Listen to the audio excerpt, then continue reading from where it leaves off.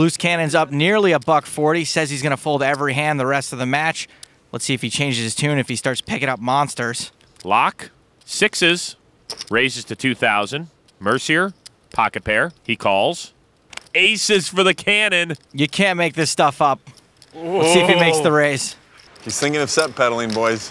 Throws him away. What? Two to the flop, six, king, six, quads for Laak. I can't believe it, Vance. David Fishman folds aces, would have been outflopped by quads. If this happened in a movie, I would say it's too unrealistic. The turn, jack of spades. Laak's checking for deception. There's a chance the paint may give Jason more of a reason to get away from this on the river. Deuce on the river, Laak's trying to decide how big a value bet Jason will call.